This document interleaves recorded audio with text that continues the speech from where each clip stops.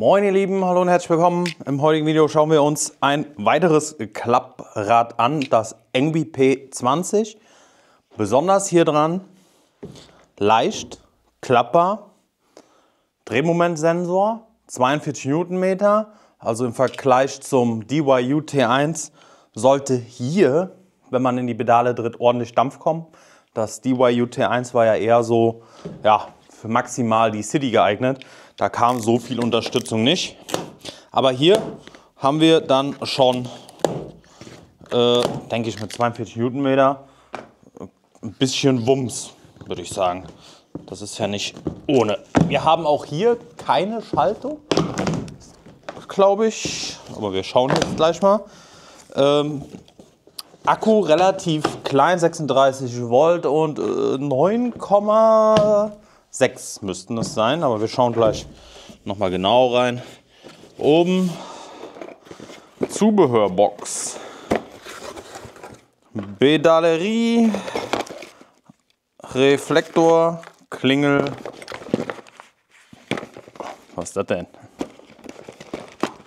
Irgendwas ist hier magnetisch. Was ist das? Irgendwas ist hier magnetisch.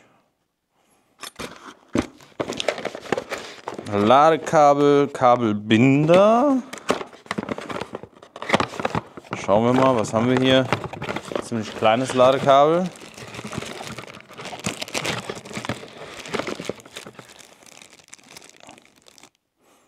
...36 Volt System, 2 Ampere Output. Also, ja, mehr oder weniger basic, würde ich sagen.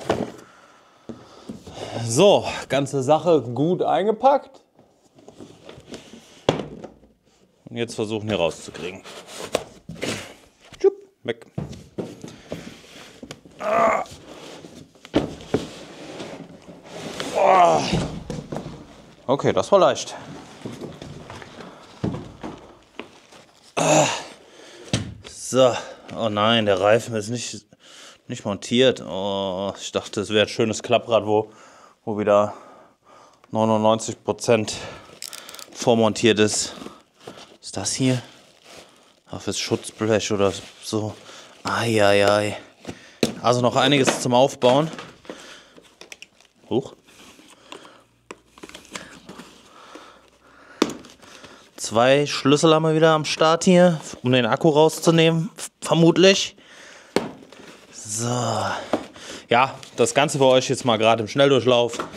Und dann sehen wir uns gleich wieder.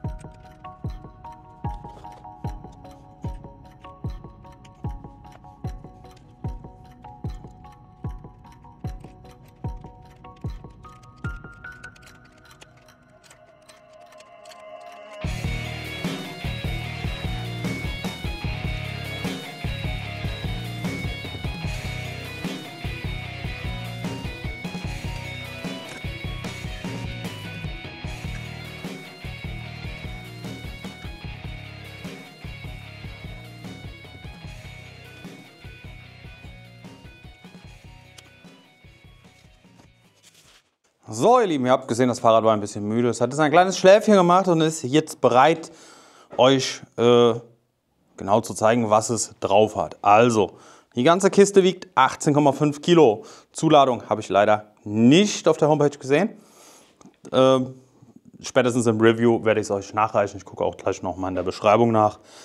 Ähm, 20 Zoll Reifen, Drehmomentsensor, 42 Newtonmeter. Also da ist der Motor, Drehmomentsensor ist dann irgendwo mittig verbaut. Ähm, ja, 36 Volt System, 9,6 Ampere-Stunden, angeblich bis zu 100 Kilometer, halte ich für ein Gerücht.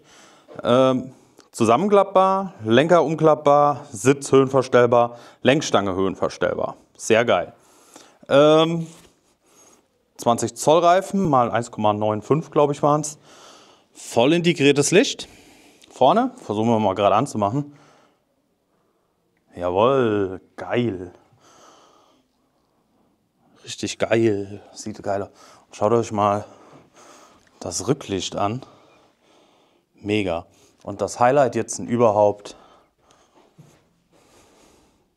Blinker. Jetzt weiß ich nicht, inwiefern die zugelassen sind. Der Rest des Fahrrads ist auf jeden Fall komplett straßenkonform. Ähm, zwei Reflektoren müsst ihr noch kaufen, liegen kein zweiter Pro-Reifen bei. Sehr, sehr schade. Ähm, aber die kosten nur wenige Euros. Ähm, ja, sieht auf jeden Fall sehr, sehr geil aus. Ähm, preislich 1100 Euro. So, was haben wir hier noch? Äh, Handballenauflage, voll hydraulische Bremsen, also äh, Gasgriff.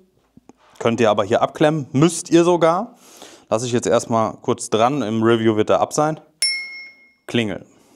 Minimalistisches Display, finde ich gut. Hier könnt ihr einiges an Daten sehen, Durchschnittsgeschwindigkeit, gefahrene Zeit, gefahrene Kilometer und so weiter. Hier unten ist ein Knopf, ist schlecht erkennbar, drei Fahrstufen, drei Unterstützungsstufen, 42 Newtonmeter haben wir ja hier, 250 Watt, 42 Newtonmeter, die Blinkertasten, nochmal vollhydraulischer Griff, nochmal Handballenauflage. Ja, sehr minimalistisch, sehr, sehr schön. Edles Anthrazit matt, finde ich sehr, sehr geil. Jetzt machen wir mal hier in die andere Richtung den, aha, den Blinker an.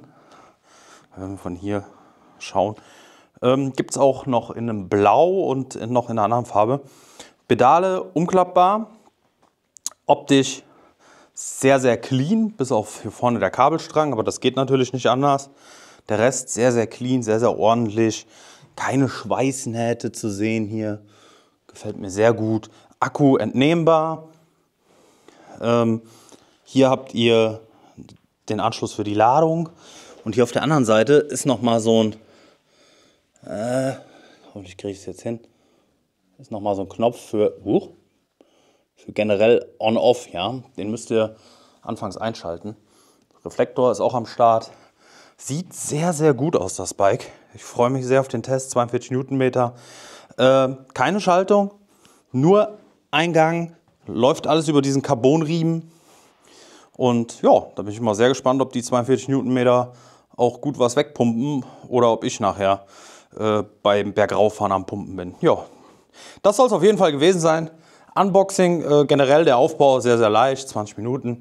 Und äh, das ist auf jeden Fall das erste Fahrrad mit Blinkern, was ich sehe und habe. Link dazu findet ihr in der Videobeschreibung.